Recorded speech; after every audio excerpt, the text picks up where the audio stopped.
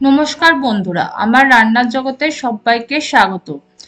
আজকে তোমাদের সাথে একটা পুরনো দিনে হারিয়ে যাওয়া দিদিমা ঠাকুমার আমলের রান্না শেয়ার করব। যেটা হচ্ছে মাছের মাথা দিয়ে ঝিঙের ঘন্ট। এটা খেতে এতটাই সুস্বাদু যে এক থালা ভাত এই দিয়েই খাওয়া হয়ে যাবে। তাহলে চলো বন্ধুরা, আজকে রেসিপিটা বানানো শুরু করি। ঝিঙে শুক্তো বানানোর জন্য আমি এখানে একটা মাছের মাথা নিয়েছি, যেটাকে দু আধখানা করে রেখেছি। আর চারটে মতো মাঝারি সাইজের ঝিঙে নিয়েছি, যেটাকেও খোসা ছাড়িয়ে ধুয়ে পাতলা পাতলা করে কেটে রেখেছি। আর এখানে একটা বড় সাইজের আলু নিয়েছি, যেটাকেও খোসা ছাড়িয়ে ধুয়ে পাতলা পাতলা করে কেটে নিয়েছি। আর একটা ছোট সাইজের বেগুন নিয়েছি, যেটাকেও আমি পাতলা পাতলা করে কেটে রেখেছি। আর একটা ছোট সাইজের উচ্ছেকেও কুচি করে কেটে নিয়েছি। এই শুক্তোটা যেহেতু তেতোর পরিমাণ খুবই কম হবে, তাই উচ্ছের পরিমাণটা একটু কমই দিতে হবে। এবার এই মাছের মাথার মধ্যে ওয়ান ফোর টিস্পুন মতো হলুদ গুঁড়ো আর সামান্য পরিমাণ নুন দিয়ে হলুদ আর নুনটা মাছের মাথার সাথে ভালো করে মেখে নেব। এবার মাথাগুলো ভাজার জন্য আমি কড়াই বসিয়ে দিয়েছি। ওর মধ্যে আমি কিছুটা পরিমাণ সর্ষের তেল দিয়ে তেলটাকে হাই ফ্লেমে গরম করে নেব। তেলটা গরম হয়ে গেলে গ্যাসের ফ্লেমটাকে মিডিয়ামে রেখে এক এক করে মাছের মাথাগুলো দিয়ে মাথাটাকে লাল করে ভেজে নেব। মাছের মাথাটার এক পিঠ ভাজা হয়ে গেছে, এটাকে উল্টে দিয়ে অপর পিঠটাও একই রকম ভাবে লাল করে ভেজে নেব। মাছের মাথা দু পিঠটাই আমার ভালোভাবে ভাজা হয়ে গেছে, এবার এগুলোকে তুলে নেব।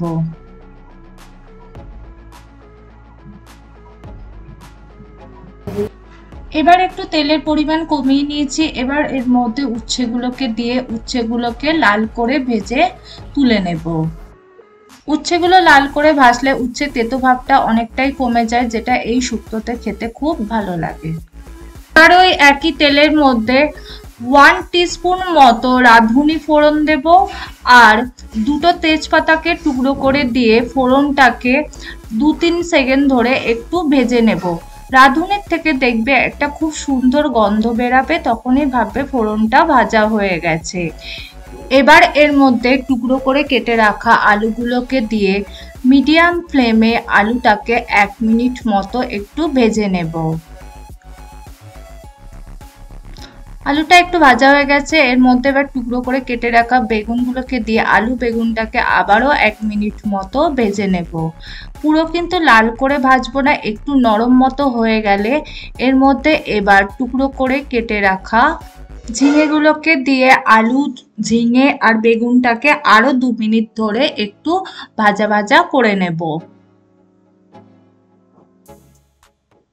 সমস্ত সবজিগুলো আমার ভাজা ভাজা হয়ে গেছে। এবার এর মধ্যে হাফ টিস্পুন মতো হলুদ গুঁড়ো আর পরিমাণ মতো নুন দিয়ে মিডিয়াম ফ্লেমে সবজিটাকে দু মিনিট ধরে একটু কষিয়ে নেব।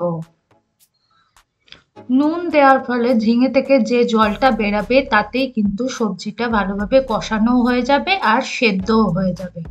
এবার এটাকে মিডিয়াম ফ্লেমে পাঁচ মিনিট ধরে আমি ঢাকা দিয়ে রেখে দেব, যাতে সমস্ত সবজিগুলো ভালোভাবে সেদ্ধ হয়ে যায়। দেখো সবজির থেকে কতটা পরিমাণ জল বেরিয়েছে, এতেই কিন্তু সবজিটা ভালোভাবে সেদ্ধ হয়ে যাবে। দেখো সবজির থেকে কতটা পরিমাণ জল বেরিয়ে আমার সবজিগুলো কিন্তু ভালোভাবে সেদ্ধ হয়ে গেছে।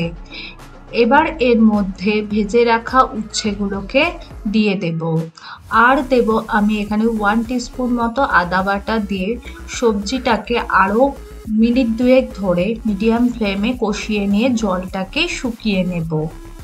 সবজি আর জলটা অনেকটাই শুকিয়ে গেছে। এবার এর মধ্যে ভেজে রাখা মাছের মাথাগুলোকে দিয়ে খুন্তির সাহায্যে মাথাগুলোকে একটু ভেঙে ভেঙে দেব।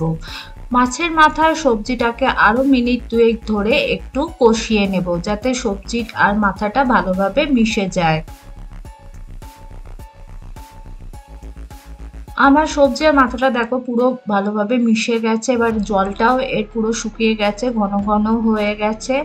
এবার এর মধ্যে আমি হাফ টিস্পুন মতো ঘি দিয়ে এটাকে একটু নাড়াচাড়া করে গ্যাসের ফ্লেমটাকে অফ করে এবার এটাকে এক মিনিট মতো ঢাকা দিয়ে রেখে দেব। মাছের মাথা দিয়ে ঝিঙে শুক্তো আমার তৈরি হয়ে গেছে। এটা গরম ভাতে প্রথম পদ হিসাবে খেতে খুবই ভালো লাগে। আপনাদের যদি আজকের এই রেসিপিটা ভালো লেগে থাকে, এটাকে লাইক করবেন কমেন্ট করবেন আর শেয়ার করবেন।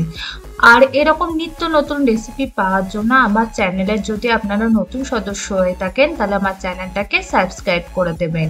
আর পাশে থাকা বেল আইকনটা অন করে দেবেন, যাতে আমি যখনই কোনো নতুন ভিডিও পাঠাবো, আপনারা সর্বপ্রথম যাতে দেখতে পারেন। আর আমার ভিডিওটা পুরোটা দেখার জন্য আপনাদের অসংখ্য ধন্যবাদ।